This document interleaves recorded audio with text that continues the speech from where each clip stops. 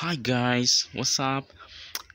My name is Gracious. I just came up with a new product or business product because I'm aiming to make business with that. And uh, can you guess what it is? It's an automated mosquito net. So it has different parts as you can see this is the display that shows every uh, indication of what is going on in the system and this is the inside circuits beneath this net and you can see there are different components microcontrollers relays bipolar relays and the like. This uh, circuit here is different. It deals with the safety like if the current exceeds or a short circuit appears so it contains all the fuses and all the safety uh, components. This switch is the main switch that powers off and on the system and these are the batteries. There are sensors there are different sensors that are underneath that are underneath uh you can see like that. Now let's just assume this box is a person and uh let us see what's going to happen. Maybe you're from work and you just throw yourself to the bed. Look at this. Wow. Amazing so it is um, sensitive and so quick to respond in order to prevent um, pursuing mosquitoes from entering the bed. But also the sensors contains uh, emit some waves that are not familiar that are not uh, a good environment for mosquitoes. So you can ask yourself why do we use um, the net instead of just using the waves? Uh, well um, determined mosquitoes can also like ignore the waves if they're so hungry but also um, it is not healthy or advisable to stay with waves 24 7 but this system after detecting the person it just lowers the power consumption of the system thus helps to save power and uh, you know the net is efficient you're sure that no mosquito will enter inside the net. There are different parts um, as you can see there are four pillars in the bed. It contains some some path that helps to guide the net into it because the net is something um, easily flexible and it needs to be guided.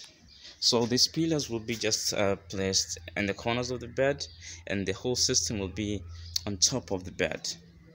Also we have the charging port you can see here the battery is rechargeable so you can use any means of charging like solar charging or wind whatever renewable non-renewable you can easily use it in the village or remote places and or in the towns itself now i'm going to take you through every indication here.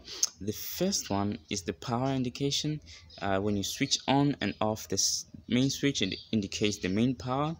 Um, the second one is the net closing. So if um, the net is closing like someone is inside the bed you see it lights. The third is net opening. As you can see when the net opens after closing it's like that. The uh, next one is the net minimum position. When the net is in minimum position it detects because you cannot keep on rotating the motors when the net has reached to the minimum position. So there are sensors that helps to detect the position of the net um, like that you see? And that also net minimum position as you can see. Wow you see that lights. So now one unique feature of this product is that if something is inside the net in order to come out there is a manual button that you can control it manually but also you can uh, it detects if a body is vertically or horizontally when horizontally it, just, it assumes that someone is sleeping but when vertically it assumes that you want to uh, get out of the bed. So i'm going to use the bipolar getter to help the box stay vertically and it will assume that the person wants to get out of the net. You see that? You see that? Wow. So um, the net maximum position is when the net reaches down then we come the person inside net. When there's someone inside the net like this it switches on and when there's no person inside net uh, this green button switch on. Then this is charging when you input 12 volts dc uh, through via this port here and the respective terminals or polarity um, this button will light on to indicate charging. Then this is the motor's power. The motor has a different power system in their batteries here because someone can stop the motors and the fuse respective for the motors can burn. So it has a separate system not to interfere with the microcontrollers and the digital part.